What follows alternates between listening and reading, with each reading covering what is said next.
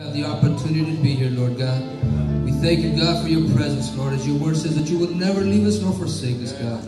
We know that you are with us all the time, God. We thank you for your Son and the Holy Spirit, God. I ask and pray, God, that I would decrease, God, that you would increase today, Lord. That every heart and every mind be open to receive your word, Father God. We thank you this morning, God, and love you, Lord, in Jesus' name. Amen and amen. You may be seated this morning.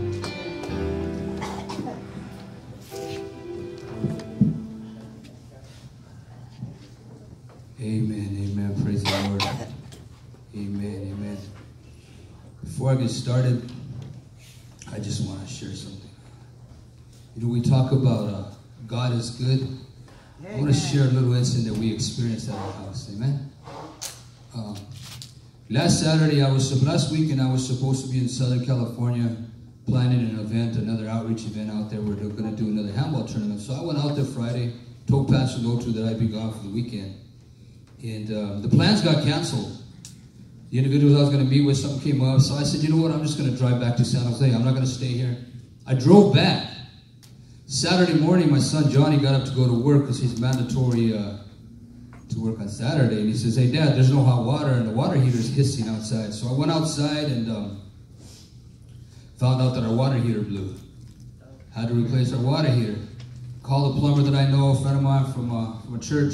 He came and uh, he replaced our water heater, but he left, and uh, we smelled gas after he left. And uh, Johnny was complaining at night, Dad, I still smell gas. And I said, right, I'll get PG&E out here in the morning to find a gas leak, see what's going on. So sure enough, Sunday morning, PG&E comes out, and there's a flex line, gas line. The one flex line was a bottom water heater, and it was on a bend. I guess when the guy moved it, he broke the line without even realizing it. So gas was seeping out of there, but then they walk around my backyard, and they said, hey, we detect gas leaks, and you're underground right here. So they shut our gas off Sunday. And uh, you don't know how much you appreciate hot water until it's gone. until it's gone. We were, I was taking them showers where I ran in, got wet, turned the water out, soaked up, ran back in, and ran back out, man, because it was cold. And it happened to be when it was really cold last week in San Jose. So we didn't have power. What they did was they went under line and they replaced a gas line that came out of my garage door to the house that had a hole. Uh, it was leaking. It was rusted out. So they replaced that. PG&E came out again Tuesday and said there's still leaks in there.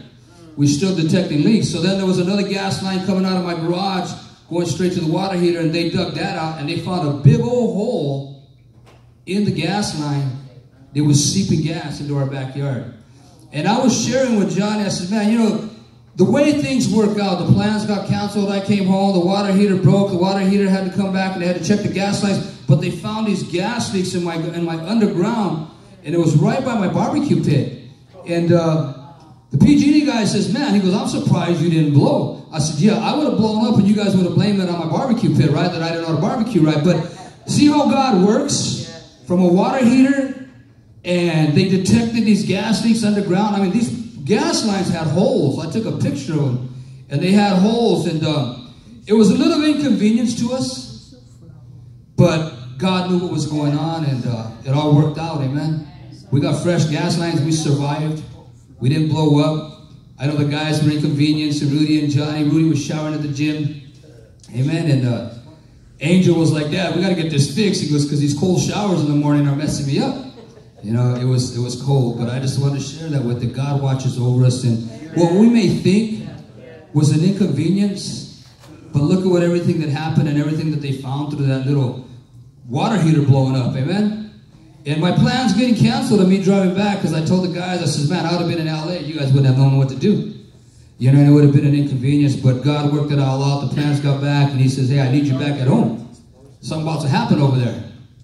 You know, but uh, God worked it all out, and I just want to share that that we we take things for granted, you know, but God is always in control of our lives, and we may think that something is an inconvenience in our life, but God has another plan and another purpose. Amen. I was a bit upset that the plans got canceled out there in LA, Southern California, but I know now why I needed to be here. Amen. I know why God canceled the plans, why they got canceled, and sometimes we may think, man, we may get upset about something, but you know that God is at work at all things. Amen. Amen. Praise the Lord. Amen. Um, Yesterday, I had the opportunity to go to training for Celebrate Recovery. Amen. I went and I took the class, and it's an awesome class, and it's a ministry that eventually we're going to bring here. But it's going to take some people to stand up and rise up and say, I want to be a part of this because it's going to take men and women that have a heart to watch people, help people recover in their walk with God. Amen. It's not just talking about Christianity, but it's talking about hangups, addictions, alcoholism. People got food issues, angry, anger issues, and all these things. It was a very, very blessed class. Amen. A training. Uh, I'm buying all the curriculum to be able to get it done, and eventually, in time, it's a ministry that we're going to bring to this church. Amen. And not only that is that um, you get recognized as we are a Celebrate Recovery home here. Uh, not a home, but a church. We have Celebrate Recovery here. Uh, judges, probation, parole will recognize it like, hey, we're going to send people to you guys, and we're just going to help win one soul at a time and build the kingdom of God. Amen? So um, I'm just praying that people have a heart for that down the road because it's going to take a couple of months to get it going. I got to get the curriculum, buy the curriculum, and then we got to just sit down and say, okay, who wants to be a part of this? Who wants to be a part of this team to be able to lead Celebrate Recovery? Because it's going to take men and women, amen. Brothers and sisters, amen. Because only the women can minister to the women and the men minister to the men, amen. So it's going to take some individuals. So I'm going to ask you to pray and seek the Lord and see it down the road as something that God puts in your heart. We should already have a compassion for souls, amen. We should already have compassion for souls and want to be passionate about doing the things of God, amen. Amen. Praise the Lord. We're going to go ahead and get started with the Word of God, and we're going to open up in the Word of in the book of Philippians, chapter two, verse 1 through 5. We got Zach back there working the controls.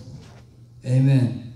If then there is any encouragement in Christ, if any consolation of love, if any fellowship with the Spirit, if any affection and mercy, fulfill my joy by thinking the same way, having the same love, sharing the same feelings, focusing on one goal do nothing out of rivalry or conceit, but in humility consider others as more important than yourselves. Verse 4. Everyone should look out not only for his own interests, but also for the interests of others. Make your own attitude that of Christ Jesus. Amen.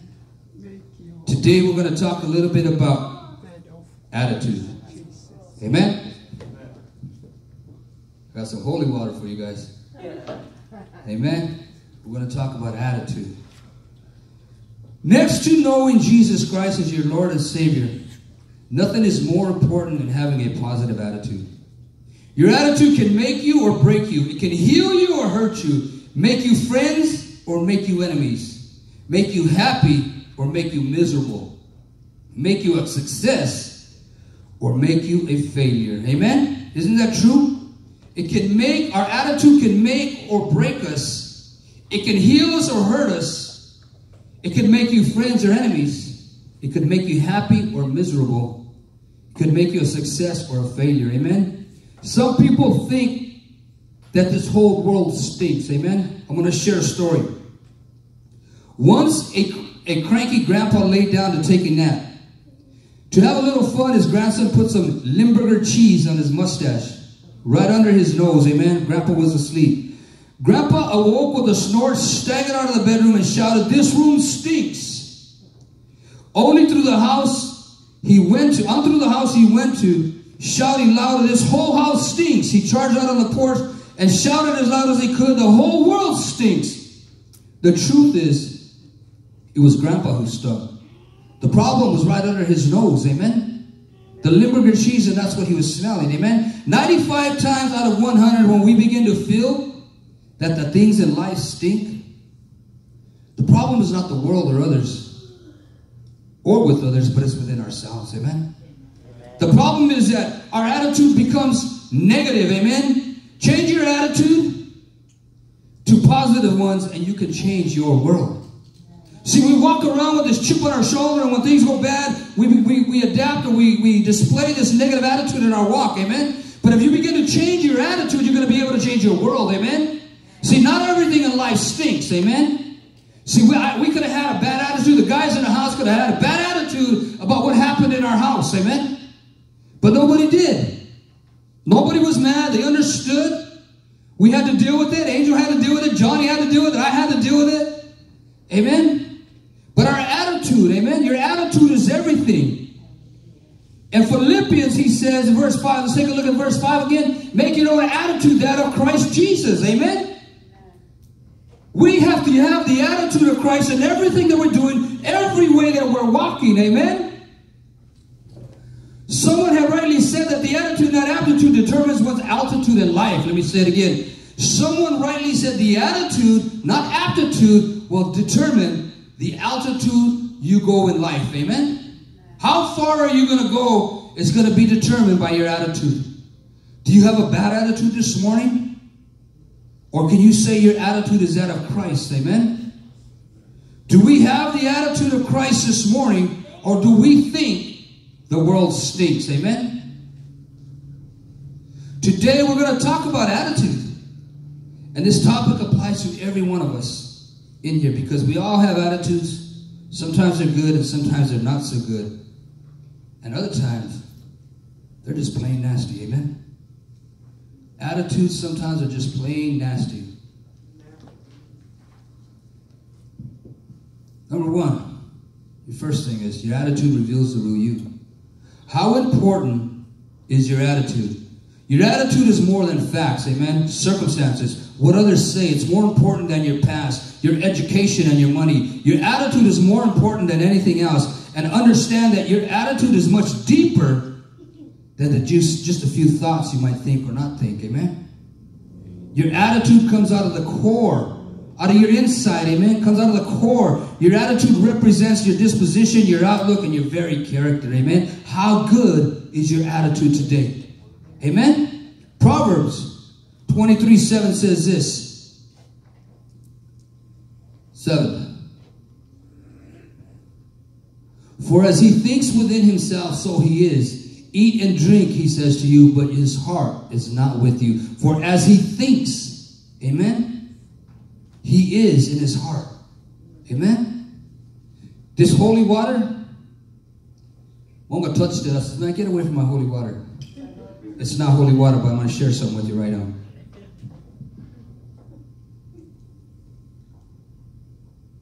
This thing is filled with water. And I'm going to shake it a little bit. And I want you to see what's going to happen. See the water starts coming out? Because the cap is under loosely. Amen? We shake this and water begins to come out of it. Why? Because the lid is under loosely. And so it is with some of us. Amen? When you get shaken, what comes out of you?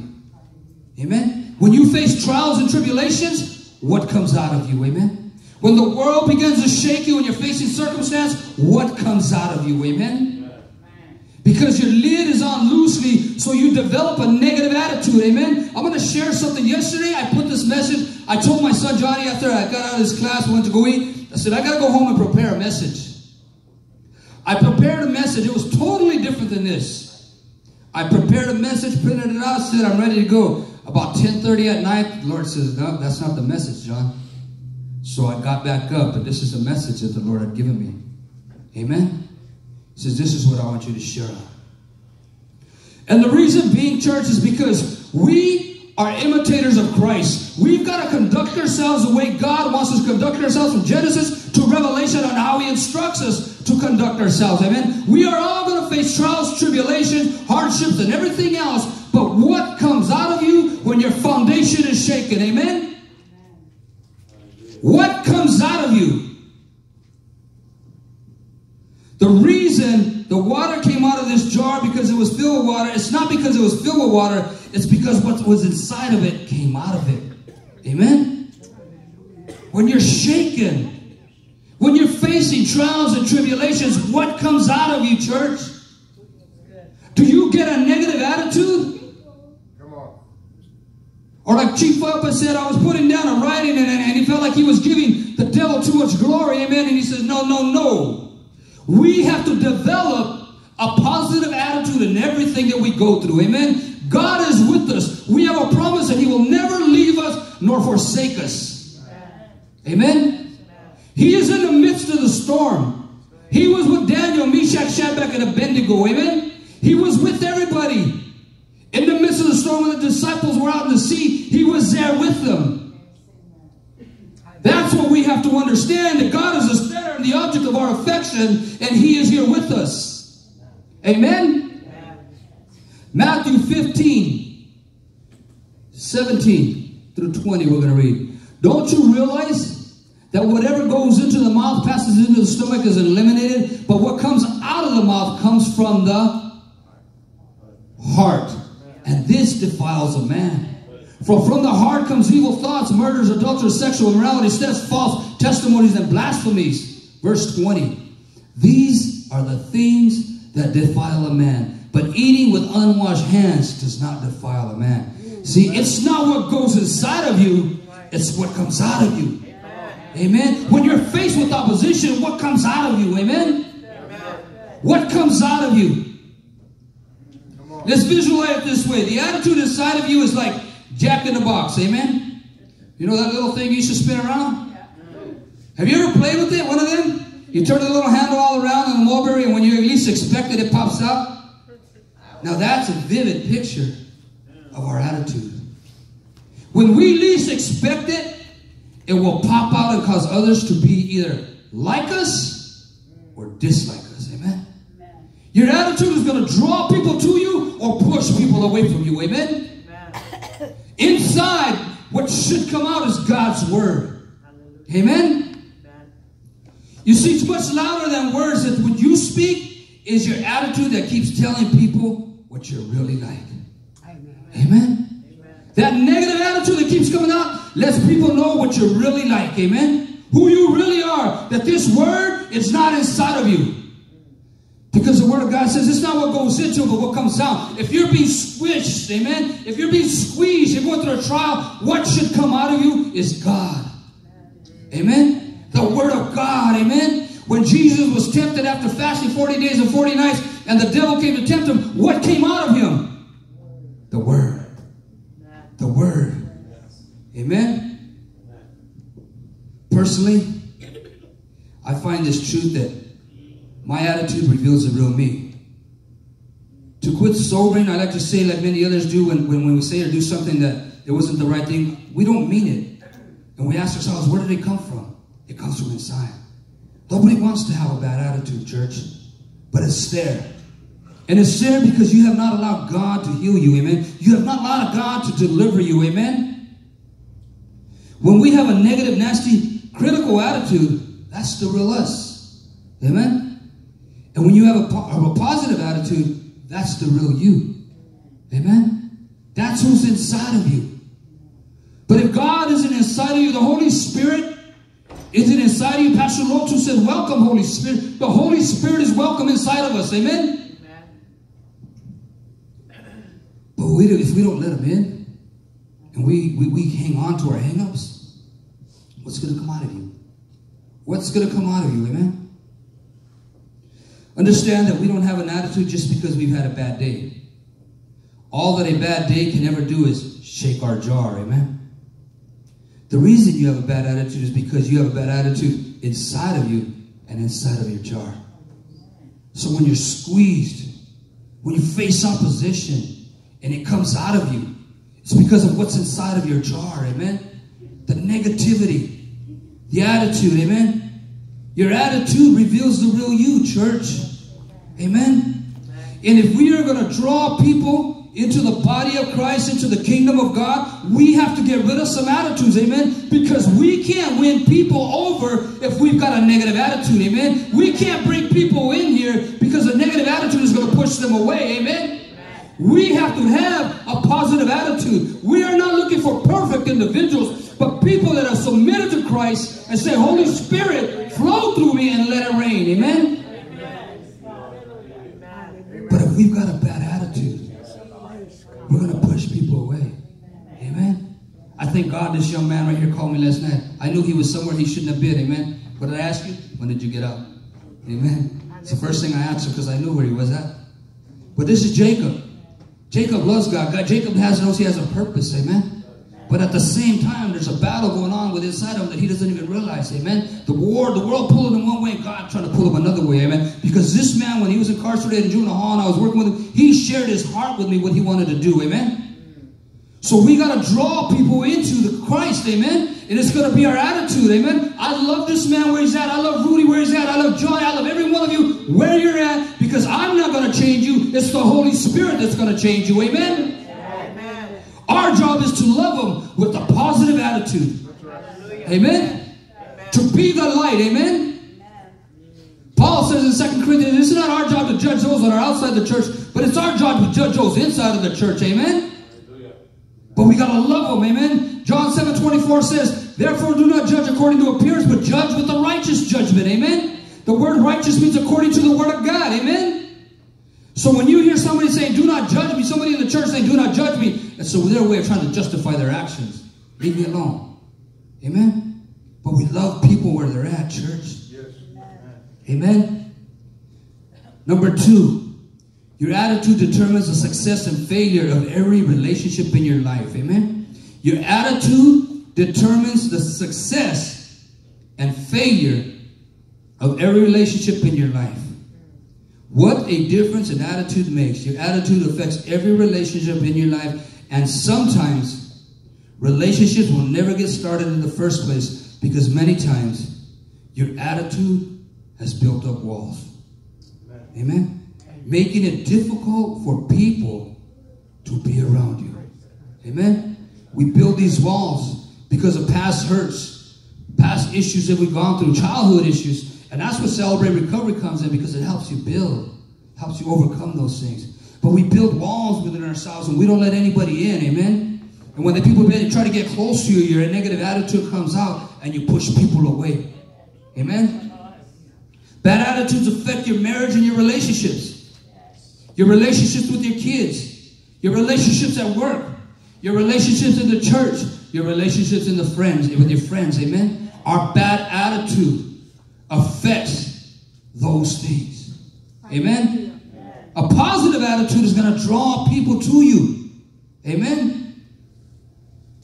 And the thing that makes a bad attitude so destructive is that, like the jar of water, when the loose lid on it, a bad attitude is eventually going to spill out into some negative actions, destructive words and deeds. Amen. When your jar gets shaken, when your jar gets shaken and things begin to come out, it's going to affect other people. We shake this jar, the lid is loose, water's going to get all over me. Amen. We're not going to like it. And when we get when our jar gets shaken, and things come out of us, people aren't going to like it. They're going to want to get away from you. Amen? They're going to want to get away from you. Amen? It becomes destructive. Amen? But Jesus said, God, I mean, Paul says in Philippians 2, verse 5, have this attitude as Christ. Amen? Let's see it.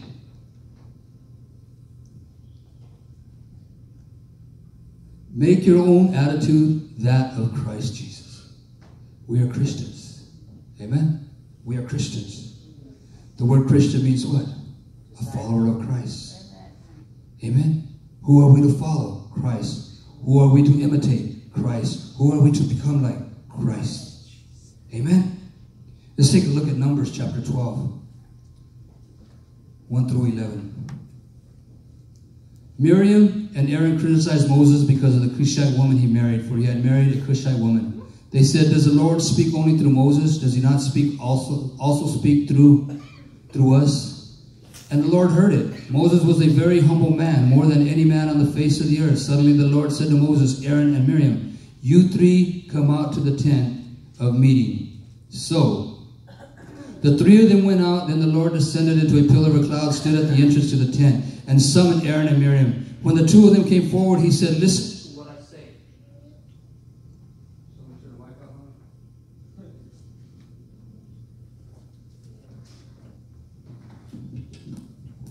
He said, Listen to what I say. Where are we at?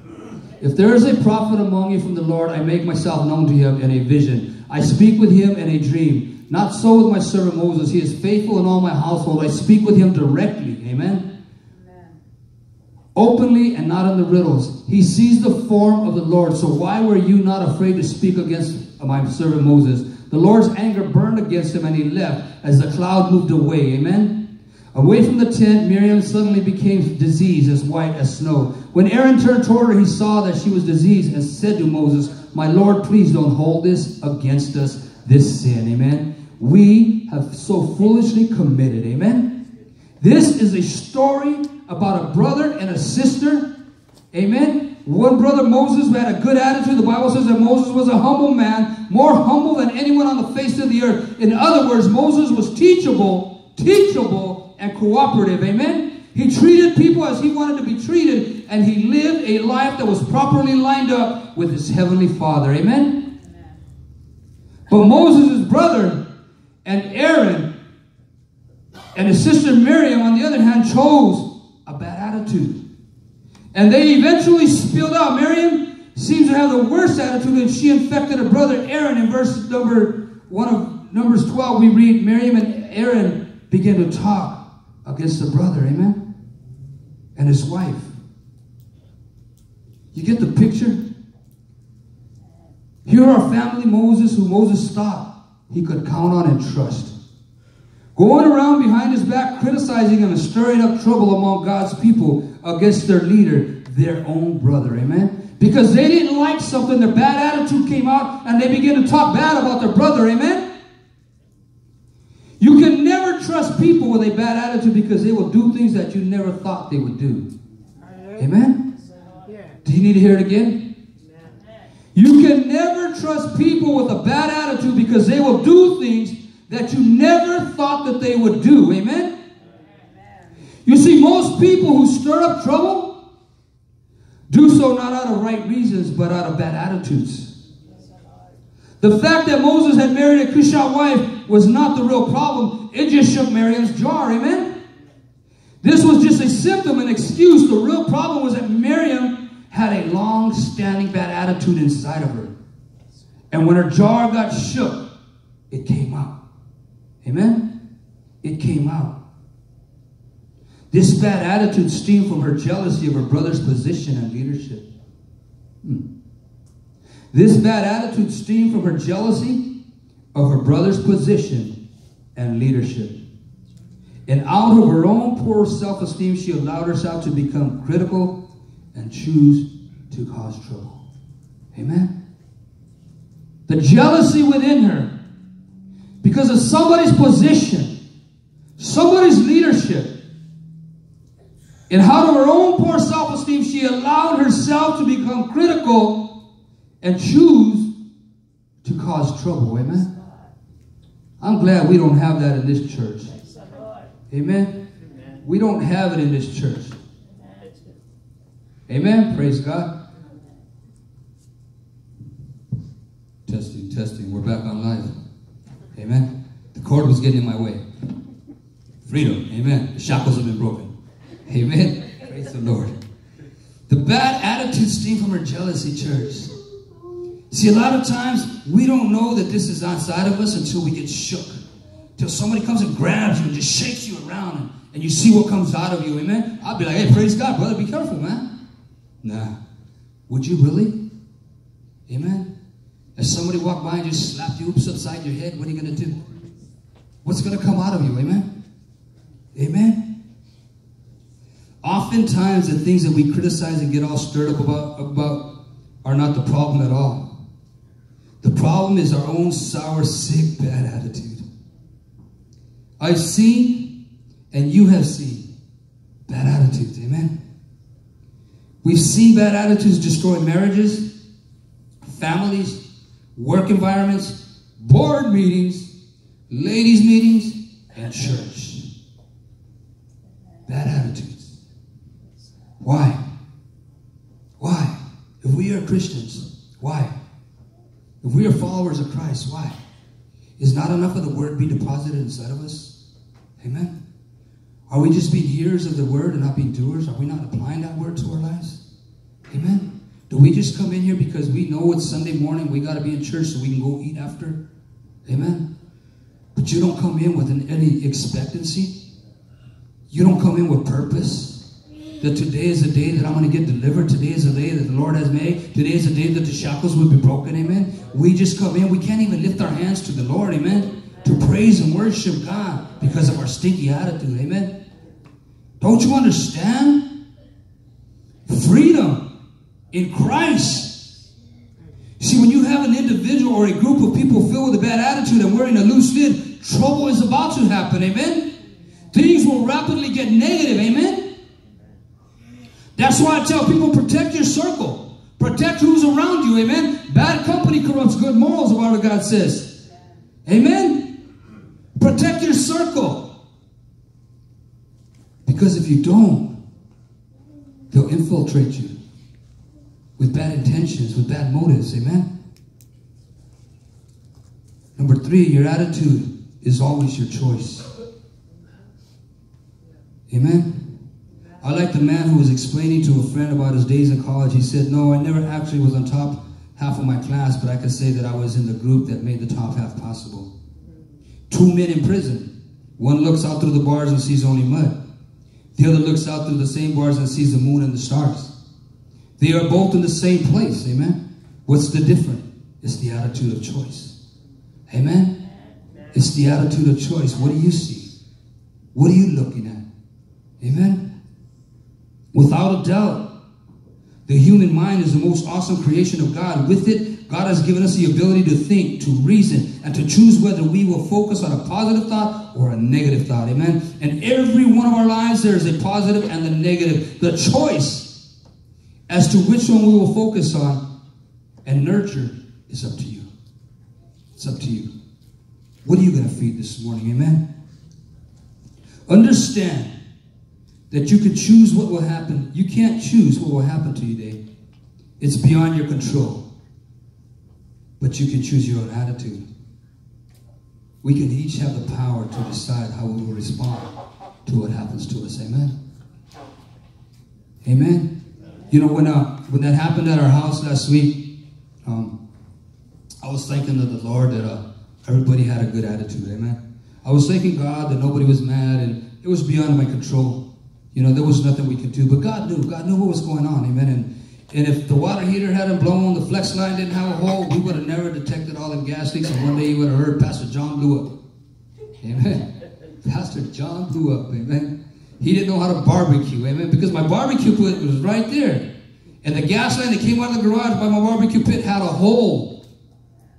And even when they were pulling the dirt out, it was saturated with gas. And they were asking, man, there must be another gas leak. I'm no, it's the dirt. Smell the dirt. The dirt, we grabbed dirt and we smelled it it was full of gas.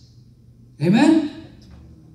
But I thank God when I got into prayer and I said, I think the, I thank you, God, that the, the men work living here, they got a good attitude. Amen? Angel showers two times a day in the morning when he gets home from work. He's like, Dad, these cold showers are messing me up. But they woke you up, right? Have a good attitude. They woke you up, right? Your attitude is everything, church. Your attitude is everything. Amen.